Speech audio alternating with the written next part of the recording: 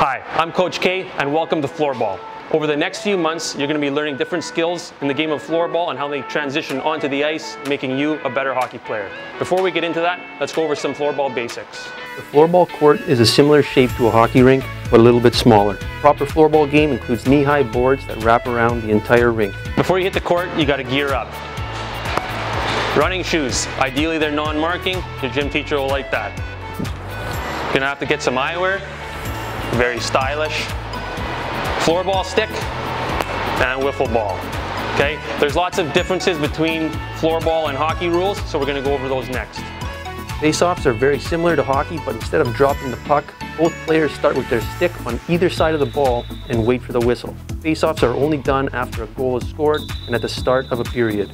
There are some fouls in floorball that you need to be aware of to keep the game moving. Fouls include slashing a stick out of your opponent's hands, Mm. lifting the stick of an opponent to get the ball.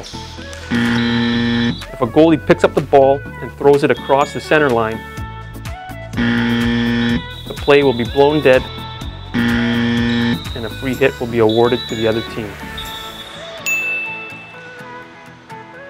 Free hits take place at the spot of the foul. A member of the opposing team will hold the ball under their foot until the whistle is blown.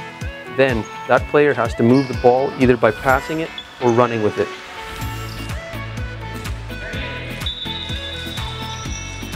Floorball, like hockey, has a goalie crease, except in floorball, no one is permitted in the area other than the goaltender. To maximize net coverage, goalies have more protection than players and they stay on their knees and use the body and hands to stop the ball. And of course, there are penalties in floorball. Using your stick dangerously results in a two minute penalty, much like hockey. This includes slashing, high sticking, body checking is also not allowed. Now that we've gone over the rules and you've got a good understanding of the game and we're ready to hit the court, just remember, be safe, listen to your coaches, and above all else, have fun.